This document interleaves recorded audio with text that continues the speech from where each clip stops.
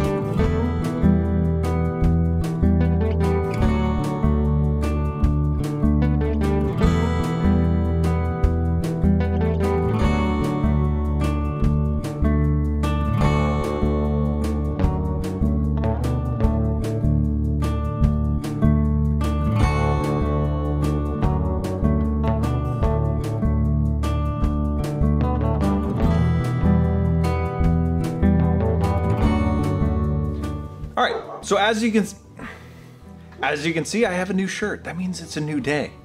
This is taking a while because, well, I have a two and a half month old inside, and I have a fish carving that now needs a tail. The tail takes a little while to get perfect, so let's start on it. My dogs are annoying.